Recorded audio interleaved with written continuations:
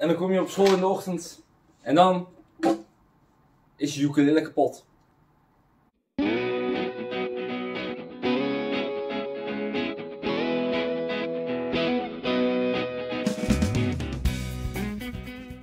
Ja, een ukulele die kapot is. Niemand die weet wat er is gebeurd.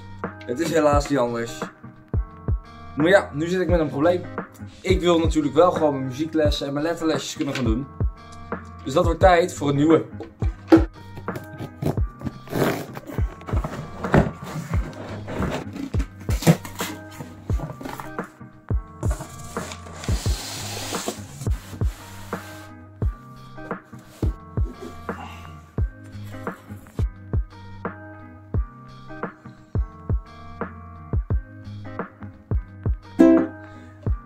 Zoals je net kon zien, is mijn nieuwe ukulele dan eindelijk binnen.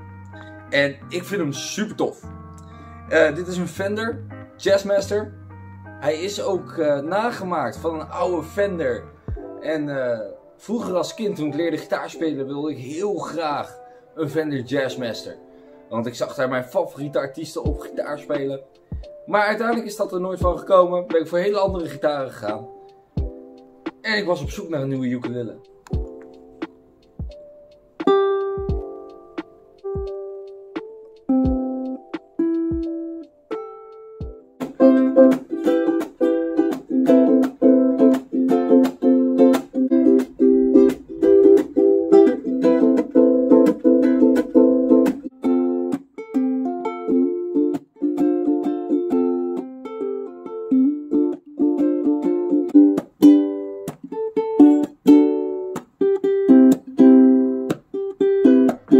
Voor de afwerking van de ukulele. Hoe de ukulele zelf is gemaakt, hoe die aanvoelt.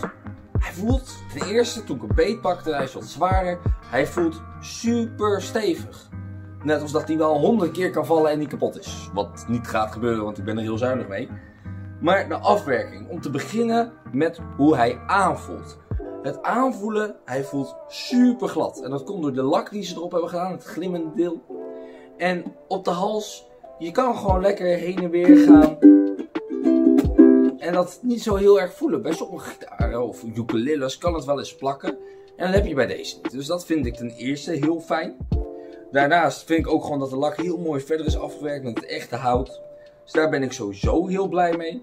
Het fretboard, dit noemen we het fretboard, vind ik ook heel fijn. De kleine fretjes, de ijzeren streepjes die je ziet, daar kun je langs de zijkant heen gaan. En ik voel niks scherps, niks uitsteken.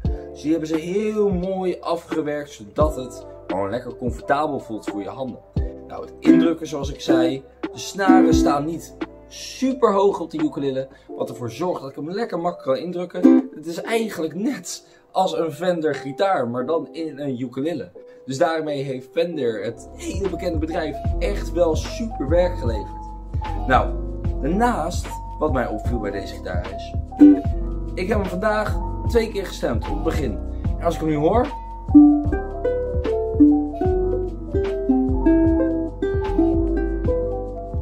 Hij is nog eigenlijk super goed in toon. Bij mijn vorige ukulele moest ik echt nog wel even bij blijven stemmen op de stemknoppen. Want ja, dan zat er toch een snaar niet helemaal lekker. Maar dat betekent dus dat de stemknoppen en het stemmechanisme op de achterkant zorgt dat hij die snaren goed op zijn plek houden hier zo. En daarbij dat de gitaar stevig genoeg is, uh, genoeg is om die spanning, dus hoe strak die snaren zit, om dat goed te houden. Dus dat is al heel fijn. Dan zag je ook al op het filmpje dat er ook een stemmechanisme zit. Hier zo, een stemapparaatje.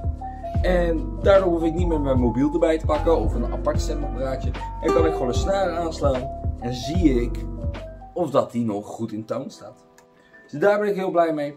Natuurlijk, het is niet zomaar alleen een akoestische ukulele. Hij kan namelijk ook nog eens aangesloten worden op een versterker. Wat natuurlijk super cool is. Kijk, in de klas heb ik dat niet nodig. Maar als ik het een keer iets voor de hele school ga doen. Ja, dan wil je wel die versterkers dat mensen hem goed kunnen horen. Dus ik ben super blij met deze ukulele. Ik vind de prijs, die was 150 euro. En dat klinkt heel veel, want het is in principe ook heel veel geld. Maar voor de kwaliteit die ik er terug voor krijg van Vender, vind ik echt wonderbaarlijk. Ik heb op veel duurdere ukuleles gespeeld in winkels. En eigenlijk voelt deze nog steeds het fijnste aan. Dus wil je zelf ukulele doen als leerkracht of wat dan ook. Weet je, hij ziet er misschien wat aparter uit dan je standaard ukulele. Maar dat maakt het voor mij juist heel gaaf. Dus ik ben er heel blij mee. Ik uh, ga even lekker spelen. En ik zeg, tot de volgende keer.